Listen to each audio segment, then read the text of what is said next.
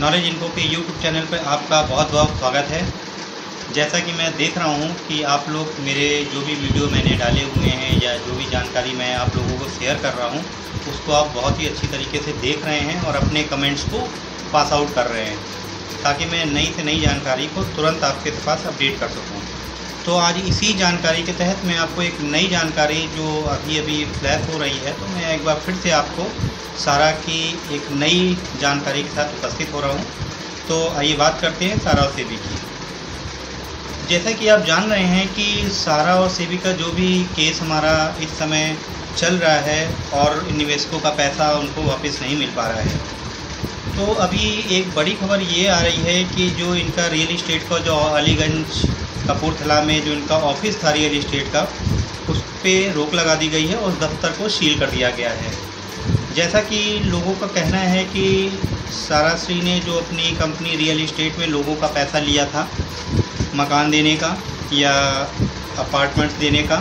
तो पैसा तो पूरा ले लिया गया है, लेकिन उनको अभी तक कब्ज़ा नहीं दिया गया है। लोगों का पैसा पूरी तरीके से जमा हो चुका है और उनको अपने कब्जा नहीं मिल रहा है तो इस कड़ी इस कड़ी को देखते हुए ज़िला प्रशासन जो लखनऊ का है तो उसने जो इनका, जो अलीगंज में कपूरथला में जो ऑफ़िस है इनका, उसको सील कर दिया है। और आगे भी ये चर्चा हो रही है कि ये पैसा किस तरीके से लोगों को मिलेगा और जो रियल इस्टेट में लोगों ने अपना मतलब जो भी जमा किया हुआ धन धन है जो उन्होंने अपने मकान के लिए या ज़मीन के लिए या अपार्टमेंट्स के लिए मतलब जिसने भी जैसा भी अपना इन्वेस्टमेंट किया था तो अब उस पर एक बहुत बड़ा प्रश्न चिन्ह लग गया है कि अब उनको ये चीज़ कैसे मिलेगी। तो आज जिस तरीके से केसेस चल रहे हैं तो सुब्रत रहे की मुसीबतें धीमे धीमे बढ़ती ही जा रही हैं, क्योंकि एक तो इन्वेस्टरों का पैसा वापस नहीं मिल रहा है, दूसरा आज जो जिस तरीके से प्रशासन उनकी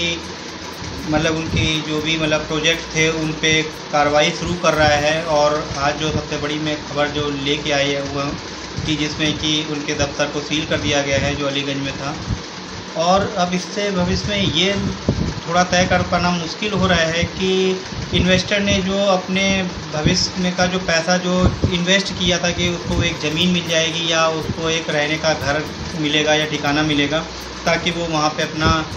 शिफ्ट हो सकेगा। तो आज वो चीज़ खटाई में पड़ गई है, क्योंकि उनके दफ्तर को सील कर दिया है। और लोगों का मानना है कि पैसा लोगों ने अपने समय पे सारा पैसा वहाँ पे जमा किया है, लेकिन उनको कब्जा नहीं दिया जा रहा है और सारी चीज़ें अपने हिसाब से चल रही हैं। सारा सेवी का ये मैटर 2012 से स्टार्ट हुआ था। 2015 तक में बहुत सारे केस चले भी,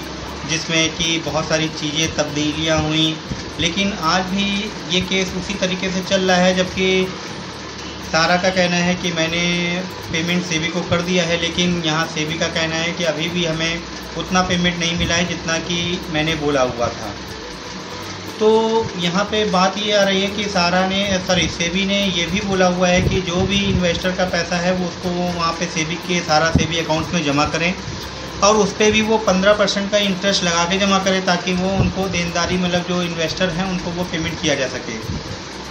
लेकिन यहाँ पे उनकी मुसीबतें टलने का नाम नहीं ले रही हैं और सुब्रत राय जो हैं, वो इन परेशानियों से बच नहीं पा रहे हैं। कोई ना कोई एक नई चीज़ उनके लिए फिर से तैयार हो जाती है, जबकि उनका कहना है कि मैं जितनी जल्दी हो सकता हूँ, मैं आप लोगों का पेमेंट करने की कोशिश कर रहा हूँ कि किसी तरीके से सारा जो सेवी का मैटर है वो ख़त्म हो सके और मैं सभी के पेमेंट को कर सकूँ। लेकिन बात ये आ रही है कि जिस तरीके से ये गतिविधियाँ इस तरह से चल रही हैं और आने वाले समय में जो चीज़ें हो रही हैं तो ये कोई भी अंदाज़ा नहीं लगा सकता है कि इन्वेस्टर का पेमेंट किस तरीके से होगा। लोगों ने अपनी गाड़ी कमाई छोटा छोटा पैसा जोड़ के ये सोचा कि भाई उसको वो पैसा एक समय के बाद मिलेगा तो उससे वो अपना कुछ काम करेगा या कहीं लगाएगा या कुछ भी अपना गोल्स हैं उसको पूरे करेगा। लेकिन यहाँ पे सारी चीज़ें उसकी ख़त्म हो गई हैं। क्योंकि पैसे मिलने का भी कोई भी स्थायी ज़रिया नहीं दिखाई दे रहा है। जैसा कि अभी पेपरों में या न्यूज़ में ये सब आ रहा था कि आने वाले समय में हो सकता है कि तीन चार महीने में पेमेंट शुरू हो जाएँगे। तो अभी भी ये एक सवाल है कि आने वाले समय में या दो या तीन महीने में किस तरीके से ये पेमेंट को चालू करेंगे और किस तरीके से इन्वेस्टरों को उनका पेमेंट मिलेगा ताकि उनको भी एक तसल्ली मिले कि उनको पेमेंट मिलना शुरू हुआ है। तो लोग को अपने पेमेंट के लिए इस समय चक्कर लगा रहे हैं, उनको किसी भी ऑफ़िस से कोई भी पेमेंट नहीं मिल पा रहा है। तो यहाँ पे ये कहना ज़रूरी है कि सारा से एक रिक्वेस्ट रहेगी कि भाई वो जितनी जल्दी जल्दी हो सके इस केस को फाइनल करें पर इन्वेस्टरों का पैसा उनको देना शुरू करें, ताकि जो एक उनकी छवि बनी हुई है तो वो छवि उसी तरीके से बरकरार रहे, ताकि आने वाले भविष्य में जो सारा समूह एक बहुत अच्छे ग्रुप के रूप में जाना जाता था तो वो आज फिर से उसी तरह से वो जाना जाने लगे और उसकी छवि उसी तरीके से फैलने लगे जिस तरीके से कभी ये परचम पे लहराया करता था कि एक, हर किसी की जुमा पे एक तारा का एक नाम होता था। तो थोड़ा सा हम लोग भी वेट कर सकते हैं, क्योंकि नए अपडेट आने तक कि किस तरीके से इनके आगे वाले पेमेंट किस तरीके से कंपनी चालू करेगी और उसको किस तरीके से पैसा मतलब इन्वेस्टर को वापस मिलेगा। तो इसके लिए थोड़ा सा हम लोग भी सब्र रख सकते हैं और लोगों को रखना पड़ेगा क्योंकि इन्होंने जो भी अभी समय दिया है तो हो सकता है दो तीन महीनों के अंदर कोई नई चीज़ आती है ताकि मैं इन्वेस्टर को या इन्वेस्टर को उनके पेमेंट किस तरीके से मिलेंगे। तो अगर कोई भी नई अपडेटेशन आती है तो मैं आपके सामने एक बार उसको लेकर फिर से हाजिर होता हूँ। आज तक के लिए तो इतना ही। बने रहिए हमारे नॉलेज इन्फो के यूट्यूब चैनल पर। तो दोस्तों धन्यवाद। पर भी आ गई कि सारा इंडिया जो फाइनेंशियल कॉरपोरेशन है, उसका भी लाइसेंस इन्होंने मतलब सेवी ने इसका निरस्त कर दिया है। तो आने वाले समय में सारा के संग कितनी मुसीबतें और बढ़ने वाली हैं तो ये आने वाले समय पे ही मालूम चलेगा। और निवेशकों को जो उनका पेमेंट है, वो किस तरीके से मिलेगा, अभी भी एक प्रश्न चिन्ह खड़ा हुआ है। लेकिन जिस तरीके से न्यूज़ वगैरह या पेपरों में एडवर्टीजमेंट इनका आया था कि उसमें कुछ समय तक हम लोगों को बोला गया है कि भाई थोड़ा सा धैर्य रखें, आपके पेमेंट सुरक्षित हैं और जो भी आपके पेमेंट रहे हैं, उस पर भी कुछ आपको जो भी एक नॉमिनल ब्याज होगा, उसको लगा के आपका पेमेंट किया जाएगा। तो उसमें भी कुछ समय इन्होंने मांगा है तो उस समय की पूर्णावधि भी हो चुकी है, लेकिन अभी तक कोई भी मतलब उस पर निष्कर्ष नहीं निकला है।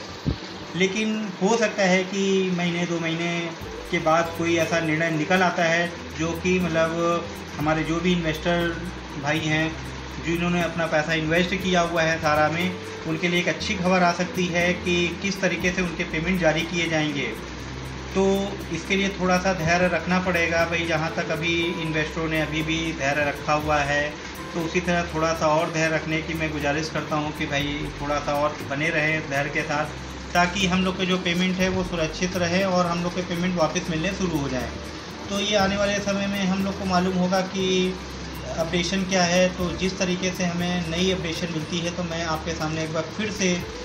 उस नई अपडेशन के साथ प्रस्तुत करता हूँ, या मतलब हाजिर होता हूँ। तब तक के लिए आप मेरे को एक विश्राम देते हैं। तब तक के लिए धन्यवाद।